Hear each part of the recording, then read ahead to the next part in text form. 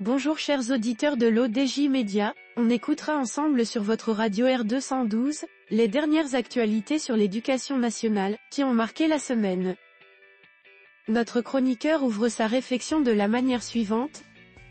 La session ordinaire des examens du baccalauréat pour l'année en cours a débuté ce lundi, marquant un moment crucial pour plus de 493 000 candidats à travers le royaume.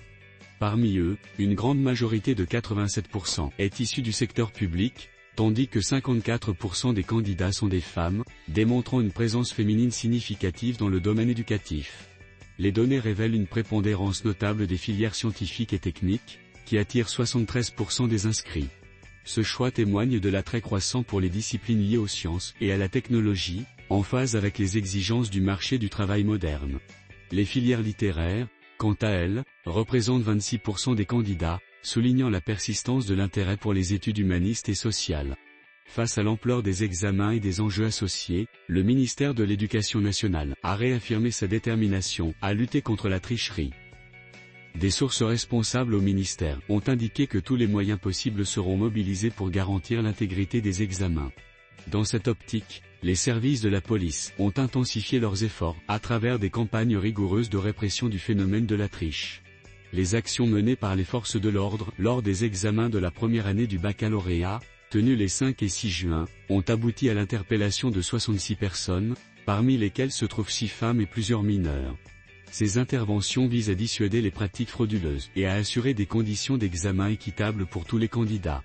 Le calendrier des examens prévoit l'annonce des résultats définitifs des candidats le 26 juin. Par ailleurs, la séance de rattrapage de l'examen national unifié, couvrant toutes les filières et divisions, est programmée du 10 au 13 juillet prochain. La séance de rattrapage de l'examen régional unifié se tiendra les 3 et 4 juillet, avec une publication des résultats prévus pour le 19 juillet. La session ordinaire des examens du baccalauréat de cette année s'inscrit dans un contexte de vigilance accrue et de mesures strictes pour assurer la transparence et l'équité. La participation massive des candidats et les efforts déployés pour contrer la tricherie témoignent de l'importance accordée à l'éducation au Maroc. Les prochaines semaines seront décisives pour les milliers de jeunes qui aspirent à franchir cette étape cruciale de leur parcours académique. Rédigé par la rédaction de l'ODJ.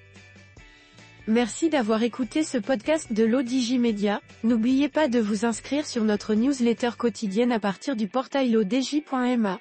Alors, on se dit au prochain podcast de nos chroniqueurs de l'ODJ, et à très bientôt,